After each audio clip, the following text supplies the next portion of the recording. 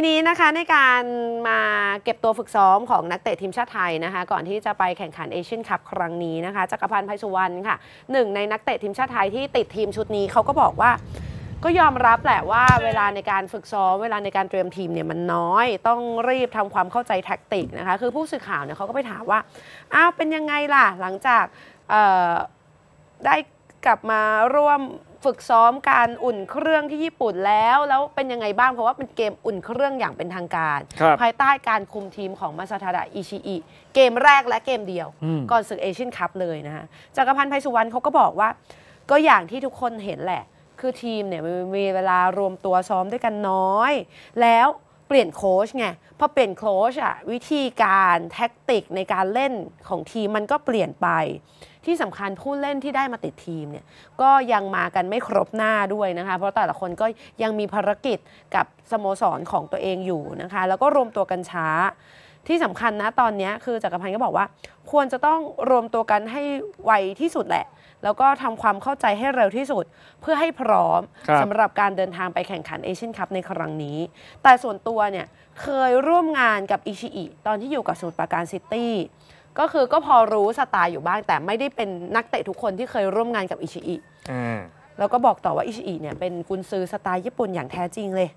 อย่างเดียวที่อิชิอิอยากจะให้ทำคืออะไรรู้ไหมครับคืออยากจะให้มีการซ้อมเช้าเหมือนที่ญี่ปุ่นอ่าคือที่ญี่ปุ่นเนี่ยนะคะ 10โมง11โมงเนี่ยเขาซ้อมแล้วนะครับคือช่วงแรกๆที่เจไปค้าแข้งที่อืมญี่ปุ่นใหม่ ๆ หลายคนก็ไปแซวเจว่า เจ ผิวเข้มขึ้นหรือเปล่า อ่าเจเจก็บอกว่าแดดพี่ทั้งนั้นครับ เออ ผมซ้อมตั้งแต่เช้า แต่แล้วว่าคำว่าเช้าที่ญี่ปุ่นแม้ว่าจะแดดแรง แต่ว่าอากาศเขาเย็น ใช่ก็เลยยังอะพอซ้อมได้ แต่ว่ากับสภาพอากาศบ้านเราเนี่ย ถ้าซ้อมตอน 10โมง11 โมงเนี่ยมีโอกาสเป็นลมสูงนะคะ คือแดดแรงมาก แดดแรงมากเออคืออากาศบ้านเราไม่เอื้อ ก็เลยต้องซ้อมเย็น แต่ระบบการซ้อมทั้งหมดที่อิชิอิเอามาใช้กับนักเตะทีมชาติไทย เป็นระบบการซ้อมแบบญี่ปุ่นทั้งหมดเลย อืม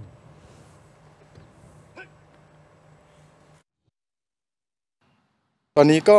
ผมว่าอย่างที่ทุกคนเห็นแหละคือ เรายังมีเวลาซ้อมด้วยกันน้อย แล้วก็ด้วยที่เปลี่ยนโค้ดด้วยแท็กติกมันก็จะเปลี่ยนไปแล้วตัวผู้เล่นก็ไม่ครบด้วย แล้วก็เรารวมตัวกันช้าด้วยครับผมว่าตอนเนี้ยสำคัญคือเราต้องรวมตัวให้เร็ว แล้วก็ทำความเข้าใจแท็กติกให้เร็วที่สุด เพื่อให้พร้อมที่สุดที่จะไปแข่ง ก็คงเป็นอย่างที่โค้ดบอกครับ ก็ต้องอทีมมาอย่างแรกคือเราต้องเข้ารอบให้ได้ลึกที่สุดอย่างเป็นอย่างแรก จริงๆ ตอนนี้ถ้าซ้อมในนามทีมชาติก็ตัวผมเองก็เพิ่งเพิ่งมาได้สองสามครั้งสองสามวันเอง แต่ถ้าย้อนไปเมื่อตอนที่ได้ร่วมซ้อมกับกับโค้ชตอนสมุทรปราการก็ต้องบอกว่าก็ก็ญี่ปุ่นจริง ๆ ญี่ปุ่นญี่ปุ่นเต็มๆเลยแต่ขาดแค่นิดเดียวคือโค้ชอยากอยากซ้อมเช้าตอนที่อยู่สมุทรปราการจะได้เหมือนญี่ปุ่นจะได้ซ้อมเช้าแต่อากาศบ้านเรามันไม่ได้เอื้ออำนวยเหมือนญี่ปุ่นก็เลยต้องซ้อมเย็น แต่ระบบการฝึกซ้อม หรือวิธีการก็จะเป็นญี่ปุ่นร้อยเปอร์เซ็นต์ครับ อันนี้จักรพันธ์เขาบอกแล้วอย่างหนึ่ง มีอีกหนึ่งนักเตะค่ะวีรเทพป้อมพันธ์นะคะกองกลางของทีมชาติไทยชุดนี้นะคะ ก็ออกมาให้สัมภาษณ์ว่าอุ่นเครื่องกับญี่ปุ่นเนี่ยได้พักอยู่ 2-3 วัน ซึ่งก็ตามสไตล์โค้ชคือโค้ชบอกว่าอยากให้นักเตะได้พักอย่างเต็มที่จะได้กลับมาในสภาพที่สมบูรณ์ แล้วก็มีนักเตะของ 2 ทีมที่มีเกมตกค้างไทยลีกครับนั่นก็คือบุรีรัมย์กับแบงคอกยูไนเต็ดนะคะ ก็อาจจะไม่ได้ต่อเนื่องมาก แต่ก็มองว่าอ่า เริ่มเก็บตัวในวันที่ 7 มกราคมก็คือเมื่อวานนี้ก็ไม่น่าจะมีปัญหาอะไร เพราะว่าสภาพร่างกายของนักเตะตอนเนี้ยทุกคนยังดีอยู่ พวกเราเราเขาบอกนะว่าไอ้ช่วงเวลาที่กลับไปอะก็ไม่ได้พักอะไรมากมายนะ ยังมีโปรแกรมของสโมสรที่เริ่มกลับมาซ้อมกันแล้วด้วย เพราะฉะนั้นสภาพร่างกายเนี่ยพร้อมเต็มที่ก่อนที่จะเดินทางไปแข่งขันเอเชียนคัพ นะฮะก็เป็นการที่นักเตะทุกคนเนี่ยก็ได้เรียกว่าอิชิก็วางแผนมาให้แล้วแหละ ค่ะว่ามีอุ่นเครื่องกับญี่ปุ่น แล้วก็จะปล่อยพักเพราะว่าญี่ปุ่นเนี่ยคือมันช่วงปีใหม่พอดีไง อืม เดินทางปีที่แล้วแข่งวันที่หนึ่ง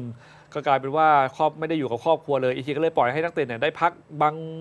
กับอยู่ครอบครัวบ้าง2-3วันนะฮะแต่ว่าการพักเนี่ยก็พักสั้นๆ นักเตะเขาก็ต้องเข้าฟิตเนสเข้ายิมเพื่อรักษาสภาพร่างกายอยู่แล้วอืมอ่าก็เลยไม่มีปัญหานะครับ แล้วก็เดี๋ยววันนี้จะกลับมารวมตัวกันแบบ full team นะฮะอ่าใช่แล้วก็อย่างที่บอกว่าจะมีอุ่นเครื่องแบบปิดกับ U23 1แมตช์ ก่อนจะบินไปที่กาตาร์เอ่อก็น่าจะเป็นการเตรียมทีมที่ดีที่สุด แล้วก็น่าจะเป็นการเตรียมทีมที่ได้เวลาพิสูจน์ตัวเองของอิชิเหมือนกันนะ หลังจากอุ่นเครื่องกับญี่ปุ่นไปซึ่งนัดนั้นก็เราต้องบอกว่าเราสู้ไม่ได้จริงแล้วก็มีแอบถามแอบไปส่องกระแสในโลกโซเชียลๆครับว่ากับการเรียกติดทีมชุดเนี้ยชุดชิงแชมป์ เอเอเชียครั้งเนี้ยอืมของนักเตะทีมชาติไทยในยุคการทำทีมของมาซาดะอิชิอิครับเป็นอย่างไร คือด้วยความที่แฟนฟุตบอลชาวไทยเนี่ยอืมค่อนข้างจะยอมรับในฝีมือการทำทีมของอิชิอิละครับก็เลย อะอิชิอิว่าไงว่าตาม คือถ้าเป็นโค้ชคนอื่นอาจจะมีกระแสดราม่าเหมือนกันนะทำไมเก็บตัวคนนั้นน้อยติดเออคนนี้ไม่ติดเก็คบรับตัวช้า แต่ด้วยความที่อิชิอิเนี่ยโปรไฟล์มาดีอืมแต่หลังจากนี้เนี่ยจะได้รับความยอมรับความไว้วางใจจากแฟนบอลอย่างต่อเนื่องหรือเปล่าก็ต้องดูที่ผลงาน ถูกต้องก็ต้องอยู่ที่ฟอร์มการเล่นด้วยนะฮะ